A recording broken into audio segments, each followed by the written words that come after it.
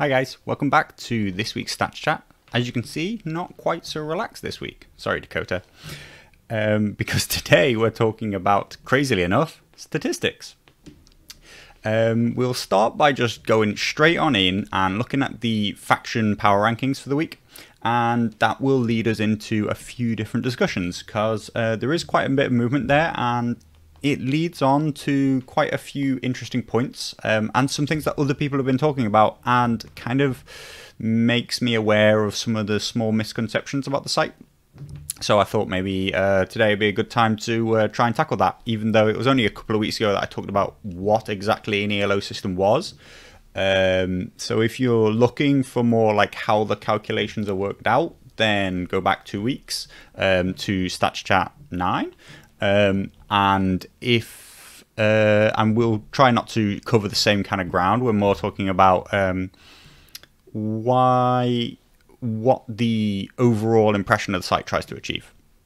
So the main thing I want to tackle today, um, or the first thing at least, is um, that we've seen a decent amount of movement on the ranking system, on the factional rankings. Now, the main thing that has happened, and is something that I was relatively sure would happen, and is mostly an effect of the first Builder League, is that we've seen the entire factional rankings table um, kind of compress. What I mean by that is we've seen the highest rated faction lose ranking points, and the lowest rated faction gain in ranking points. The overall distance between faction number one and faction number 7 is significantly lower than it was two weeks ago. At the moment, we see Starks at a 63 plus, and Targaryens have managed to recover to only a minus 48.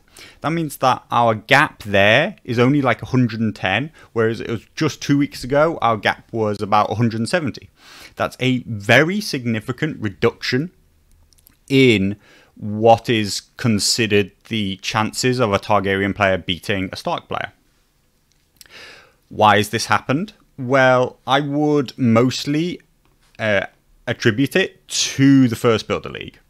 Um, obviously, the first Builder League is now moving into its third week, so we've seen two full weeks of it happen. Um, that's a decent amount of the submissions to the site over the past couple of weeks. Not the only thing running, of course, um, but possibly in the last week it was about the only thing running because quite a few of the big events um, stopped. Um, but it is quite different to anything that's run before through the site. So we're starting to see the impact it has now as it's become uh, one of the more dominant reasons to submit results over the past couple of weeks. Now, the first Builder League, if you're not aware, has randomly assigned factions and commanders to each of the players playing in the tournament. What we therefore get is we get players playing both with commanders that might not be considered the best commander to pick for any given faction. And even more importantly, in my opinion, you get players playing with factions that they're not used to playing with. What this has an effect on, in my opinion, is that a game becomes far less predictable of what its outcome will be. Because most players and their ranking is rated upon um, the faction that they play the most, the faction that they're most comfortable with. And the faction itself, its ranking, is generally dependent upon players who are comfortable with that faction always using it.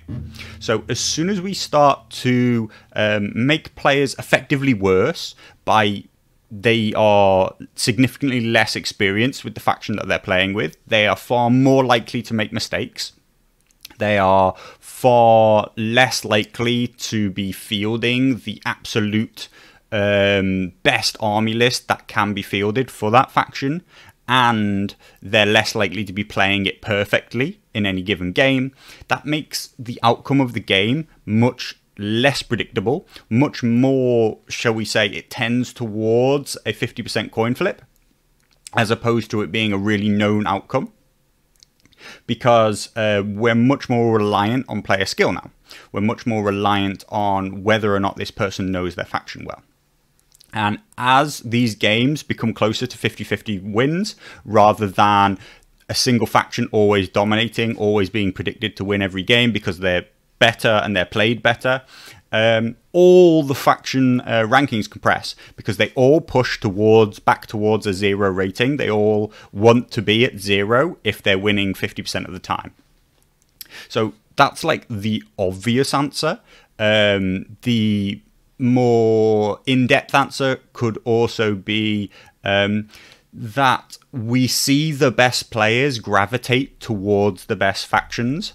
And as we force some of the best players to play with the really bad factions, they prove that those factions can be like top tier as well. They can be still played in very, very powerful ways.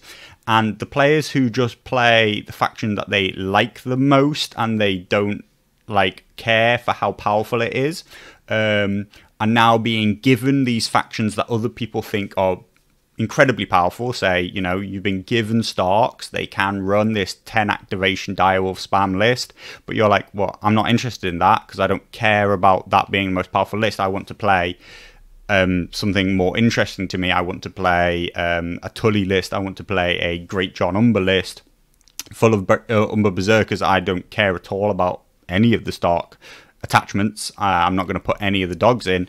Then you get players playing what is recorded to be the most powerful faction when played in a certain way, but they're playing it in a weaker manner, and therefore it will drop in its power level.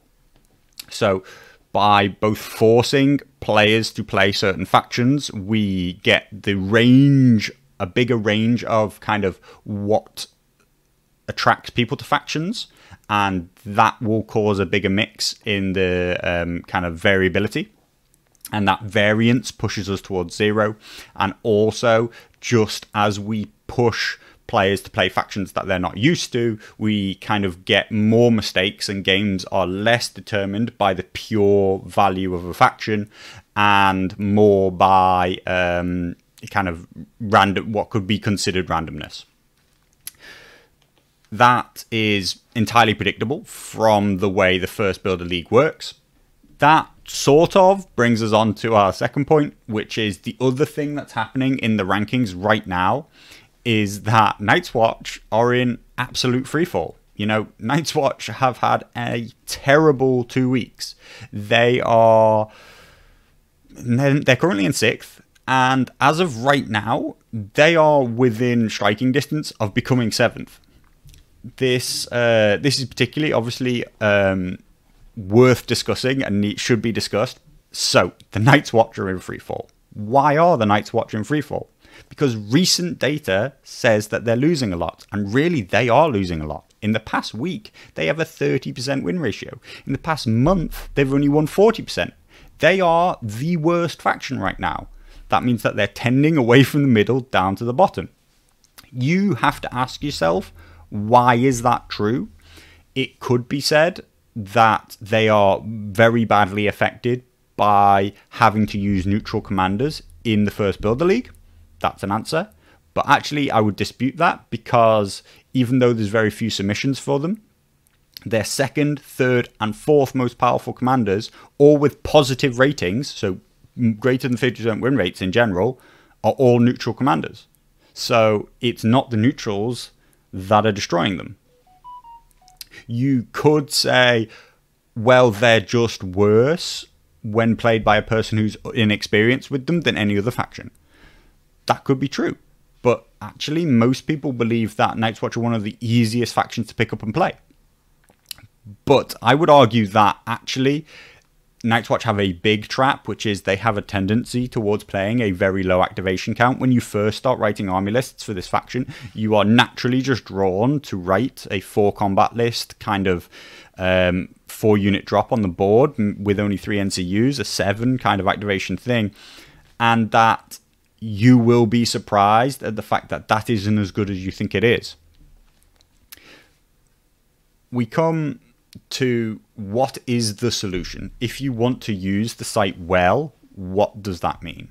When you look at that faction rank ranking, if you believe that the faction ranking is wrong, if you believe, for example, that Night's Watch are better than the sixth most powerful faction, that they're better than the minus 40 something that they have right now, you should basically test your own hypothesis. What you should say here is, I believe they're better than that, therefore I will play them. You could either play against them or you could play with them. You believe that they're better than um, their ranking suggests. So, really, your information says that you should play with them. You think they're better than that, and that you could gain ranking points by using this low ranked faction. One of two things should be the outcome of that. Either you find your hypothesis is true, they are better than that, and you start to win games with them, and their ranking will recover. They will be more representative of how powerful you think that they are. They will be more correctly and balanced uh, ranked. And that's great for the site because the site wants to represent the factions well. It doesn't want to represent, it doesn't have an agenda in any way. It doesn't want to prove that this is strong and this is weak. All it reflects is, is this is what we think the state of the game is. So if it better represents what people think the state of the game is, then that's important. Or the other thing that could happen is, is that you think they're strong, but you lose. And that should make you rethink your own hypothesis that this faction's really strong. What will actually probably happen a lot of the time is a third option, which shouldn't happen, which is that people will blame these other individual factors for why they lost. They will say, oh, I got unlucky oh, it happened to be a really bad matchup or something like that. But across the averaging of all these results, all these people are saying, oh, I, oh, I just got unlucky though, but I just got unlucky. But that thing falls away, and all we're left with is the raw ability of the faction. And it might be true. You really should ask yourself if it's not winning, is it true? And if it's not true, then it will bounce back really fast. If you think that Night's Watch are underrated, the solution is to play as them. If you think that something's overrated, you think, like, Starks aren't that good, I can beat Starks, then challenge someone who plays Starks. And you will find that you either win or you lose. Your hypothesis is either proved or you should question your hypothesis. Um, you know, I kind of give those as the two options things can happen. You know, it's not necessarily proof or disproof, but when enough people do it, the faction will move. Obviously, it sounds like the solution is submit more data, but the point is, is if it if the site is challenging you, challenging your perceptions of the game, then go out and test them and submit the data. It's very, very important that you do submit the data because if you don't, then it continues to represent something that you don't see in your local area. And if you can change it, then that's better. And if it doesn't change, then it represents either that your local situation is different to everybody else's, or maybe your perception is wrong. And that's the learning side of the site. And that's the thing that we're moving towards now. The site should teach people new things about the game, make them challenge the perception that they have, which is their small little bubble of people that they play in. Lots of people's perceptions have been challenged by the uh, international TTS events because tons of people have been made aware of metas that exist elsewhere rather than their own enclosed gaming group lots of people, you know, lots of people I think will have been disappointed by the fact that they are the best player in their local area and they assumed that they were really, really brilliant at the game. And then they've gone out and played internationally on TTS and found that there are tons of people out there who are just as good as them or better. They are not actually as good as they thought they were. They are very good in their region but their region isn't as strong as they assumed it was. And others might have thought that actually they lose all the time. They could can work inverse. Some people might think, "Oh, I'm not that good. I always lose to this guy. I I always lose to Ariakas. Why why why can am I no good at this game?" And then it turns out that Ariakas is practically one of the best players in the whole world, and you're like, "Oh." Maybe I'm I'm actually quite good at this. I just happen to play against one of the people who's amazing. So um, you know, bringing people's perspective of the game into line with what is actually true is what its intention is. So um, keep submitting. If you think that something is not um, is more powerful than the site says it is, then use it. If you think that something is weak, then play against it. If you think that a player is overrated, then challenge them to a game. This is the only way these things solve themselves. If you want to find out if you're actually any good, then go out and challenge the best players on the TTS rankings rather than going and beating the people that you always beat all the time. Because that's how we find out who is actually really, really good. Um, and don't put so much, don't put so much faith into the things you remember because our memories lie to us. We remember single events far more than they actually have impact on things. Single games, single dice rolls, single charges. You know, we remember these things more often than the average really says that their impact is. So all I'd say is uh, keep playing, play if you can in play in person, play in person. You know, there's also a conception that the site is very um, pro TTS, shall we say? Um, actually, I'm personally not that into TTS. I I run ran some tournaments through TTS because they're the only ones I could do in during lockdown. But I actually massively, massively, massively favor playing tabletop. So play tabletop games, um, submit your tabletop results, see how much the tabletop rankings can progress, see where the faction rankings are at, and uh, and come back next week and uh, check out the tourney ground, check out the um, check out our commander spotlight, and come back for the next week's stat chat. Um, where if you're lucky, Dakota, eventually one week I will try and wear a smoking jacket just for you. So, see you soon.